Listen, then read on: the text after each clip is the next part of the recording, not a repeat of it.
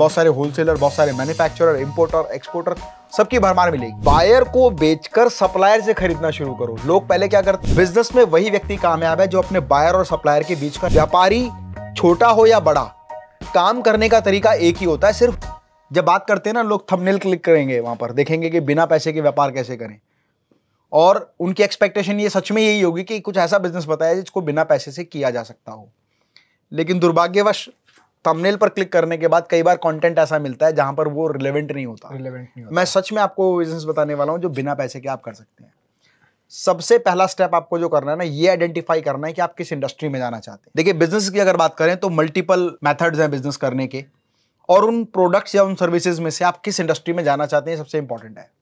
तो सबसे पहला काम है इंडस्ट्री को आइडेंटिफाई करना। जैसे आप एफएमसीजी में जाना चाहते हैं आप रेडीमेड गारमेंट में जाना चाहते हैं आप टूल्स एंड मशीनरी इक्विपमेंट्स या कंज्यूमर ड्यूरेबल गुड्स इलेक्ट्रॉनिक्स किसमें जाना चाहते हैं पहले डिसाइड करें। मान लीजिए आपने मन बना लिया कि मुझे इलेक्ट्रॉनिक्स के बिज़नेस में जाना है। अब इलेक्ट्रॉनिक्स के बिज़नेस में जाने के लिए सबसे पहले काम करने के क्या क्या तरीके हैं, ये पता होना चाहिए रिटेल आप कर सकते हैं, इसके लिए रिटेल शोरूम चाहिए रिटेल आउटलेट चाहिए या शॉप चाहिए, और बहुत बड़ा इन्वेस्टमेंट लगता है। या आप ऑनलाइन ई कॉमर्स करना चाहते हैं तो आपके पास स्टॉक होना चाहिए जिनके फोटोग्राफ्स अपलोड करके आप ई कॉमर्स पर डालेंगे उसमें भी बहुत पैसा लगता है। सेल आएगी वो बात अलग है कि अमेजोन से सेल आ रही है फ्लिपकार्ट से सेल आ रही है पर इन्वेस्टमेंट तो लगता है।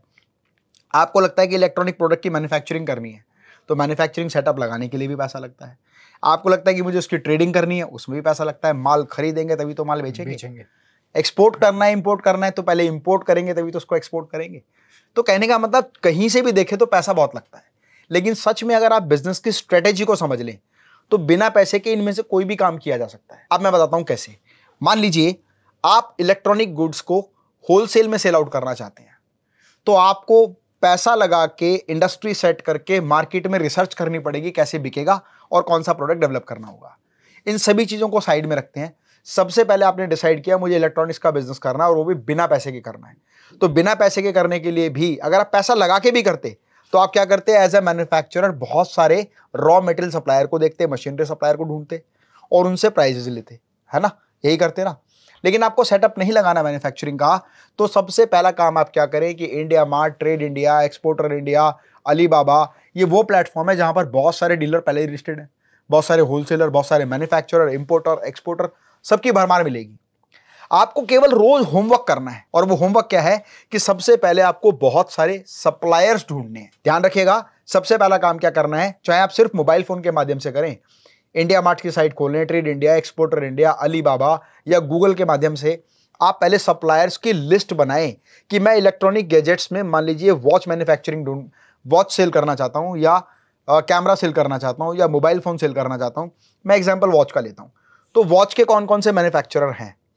उन सभी से कोटेशन मंगाए एज अ कंपनी मैं एज अ कंपनी भी यही काम करता हूँ कि मुझे जो भी मटेरियल्स आगे अपने कंज्यूमर को देना है, मैं मैन्युफैक्चरर से उसकी कोटेशन मंगवाता हूँ प्रोडक्ट डिस्क्रिप्शन मंगाता हूँ प्रोडक्ट डिटेल मंगाता हूँ। जब वो सारी इन्फॉर्मेशन मुझे भेज देता है तो मुझे पता होता है उस प्रोडक्ट की क्या फीचर्स हैं, क्या क्वालिटी है, क्या फिनिश है, और उसका मुझे परचेजिंग प्राइस क्या मिलेगा। अभी क्वेश्चन ये होता है कि मैन्युफैक्चरर कहता है कि, भाई होलसेल में माल दूँगा, दो पीस तो भेजूँगा नहीं। व्यापारी छोटा हो या बड़ा काम करने का तरीका एक ही होता है, सिर्फ़ माइंडसेट छोटा और बड़ा होता है। तो वो क्या करता है, वो कहते हैं कि पचास पीस लूँगा तो कितने का पड़ेगा, सौ लूँगा तो कितने का पड़ेगा, हज़ार लूँगा तो कितने का पड़ेगा। हमेशा जब आप बिना इन्वेस्टमेंट के काम करने जाएँगे ना तो आप बड़े तरीके पे बिज़नेस कर पाएँगे। और वो बड़ा तरीका क्या है, जितने भी मैन्युफैक्चरर हैं, या उसके कमीशन एजेंट हैं, या उसके सप्लायर हैं, या उसके इंपोर्टर हैं, उन सभी से प्रोडक्ट के बारे में पूरी इंफॉर्मेशन मंगाओ। और पूरी इंफॉर्मेशन को अच्छे से स्टडी करो। देखो कि मान लीजिए आपने दस मैन्युफैक्चरर से बात की है तो एक दे रहा है नौ सौ रुपये का, एक दे रहा है आठ सौ का, एक दे रहा है सात सौ का, एक दे रहा है छः सौ का। तो उनके प्रोडक्ट में क्या डिफरेंस है? खाली प्राइस की बात नहीं है। अपने प्रोडक्ट को जिसमें आप इंडस्ट्री लगाना चाहते थे पैसे से, उसको बिना पैसे लगाए पूरा स्टडी करो। और जब आप अच्छे से स्टडी कर लें तो उनसे बात करें कि भाई आप ये मेटल मुझे कितने दिन में सप्लाई देंगे? मिनिमम ऑर्डर क्वांटिटी क्या होगी? डिलीवरी कैसे करेंगे? शिपमेंट चार्जेस क्या होंगे? ये प्रोडक्ट फाइनल मेरे पास, मेरे गोडाउन तक कितने का पहुंचेगा? ये सारी जानकारी आपके पास है।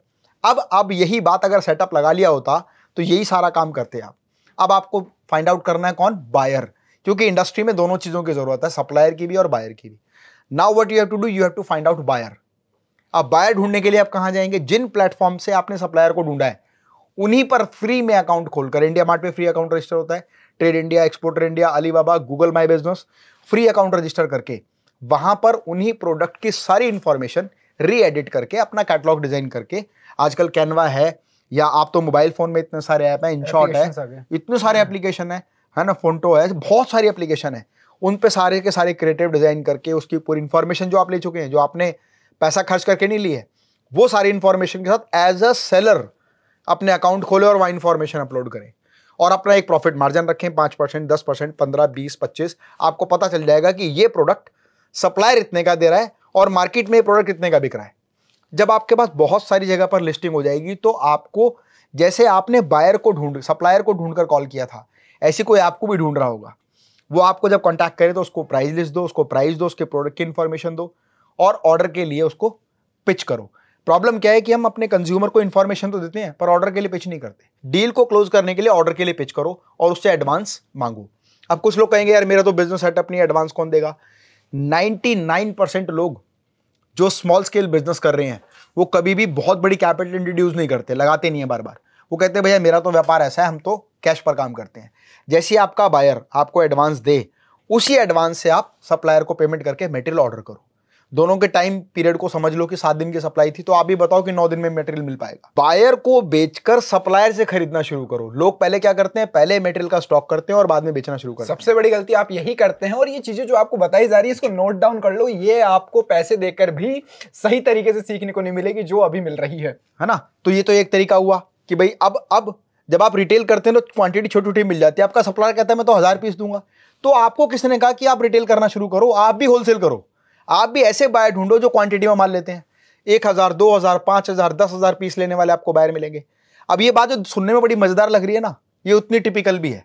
क्यों? क्योंकि आपका माइंडसेट तैयार नहीं है। जब आपका माइंडसेट बात पर तैयार हो जाएगा ये मान लेते हैं पहले ही दिन कि आपके पिताजी ने आपको पचास लाख रुपए दिए हैं। उस सप्लायर से माल खरीद के भी आपके पास रख दिया है। माल आपके गोडाउन में रखा हुआ है। अब आप क्या करेंगे? अब कॉन्फिडेंस चेंज हो गया? बेचना पड़ेगा अब बेचेंगे। तो इसी कॉन्फिडेंस के साथ बेचना है कि भैया पचास लाख का माल मैं खरीद चुका हूँ। क्योंकि खरीदने और बेचने के बीच में एक टाइम पीरियड होता है। इसी को हम ट्रेड बोलते हैं। ट्रेडर जितना बड़ा है ना, वो उतना ही बड़ा एक्सपर्ट है बायर और सप्लायर के बीच के टाइम मनी और सप्लाई को मैनेजमेंट करने में। धीरे धीरे धीरे आप देखेंगे कि आपके पास लीड जनरेट होना शुरू हो जाएँगी और उन लीड्स में से कन्वर्जन भी आता है। अगर सौ लीड आपने जनरेट किए हैं तो ऑन ऑन एवरेज अगर दो परसेंट का कन्वर्जन है तो दो क्लाइंट डील होते हैं। प्रॉब्लम क्या है कि हम एक से पिच करते हैं दो से पिच करते हैं तीन से पिच करते हैं दसवें तक पहुँचते पहुँचते हिम्मत हार जाते हैं।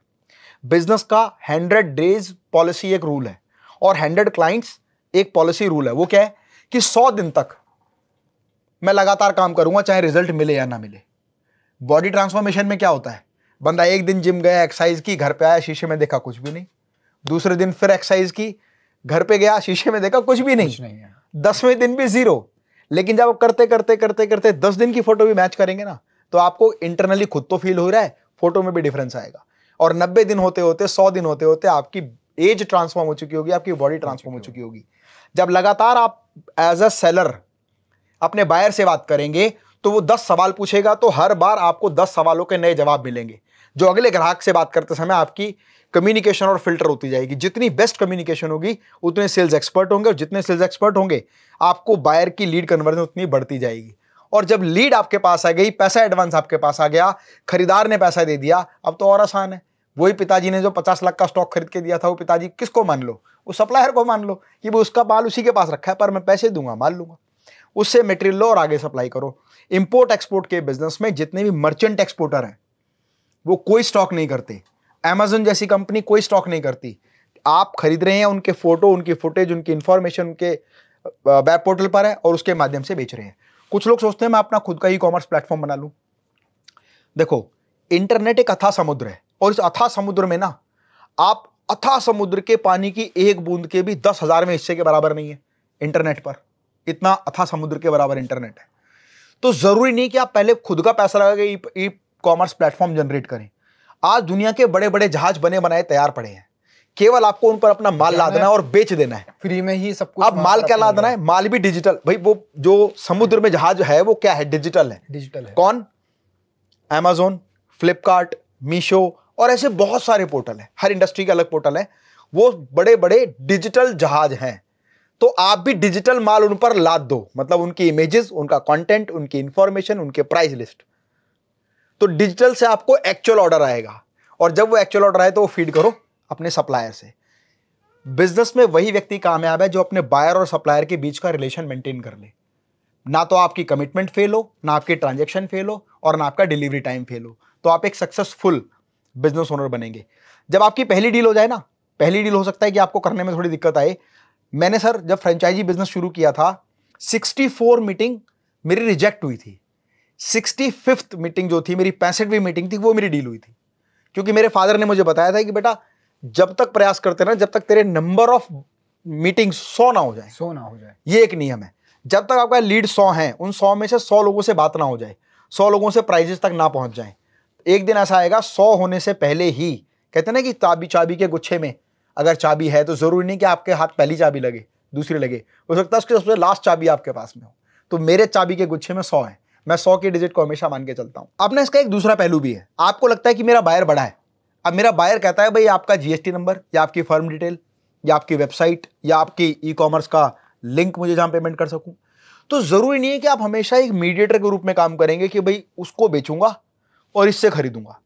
कई बार क्या होता है कि आप जब स्मॉल स्केल बिज़नेस शुरू कर रहे हैं बिना इन्वेस्टमेंट के तो आप एक पारदर्शिता भी रख सकते हैं कि you are a commission agent मतलब आपके पास बायर है आप अपने सप्लायर से बात करो कि भाई जो डील है, वो डायरेक्ट मैं आपको देता हूँ सेल्स का जो वॉल्यूम हो, क्योंकि उसके पास जीएसटी नंबर है, उसके पास फर्म है, उसके पास वेबसाइट है, उसके पास स्टॉक यार्ड है, उसके पास मटेरियल है।